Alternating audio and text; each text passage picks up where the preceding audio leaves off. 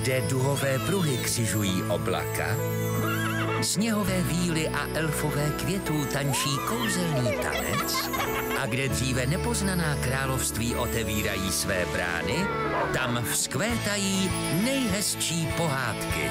Příběhy Barbie každou sobotu a neděli ráno v 8, reprízy v pondělí a v úterý odpoledne ve 4 na programu Minimaxu.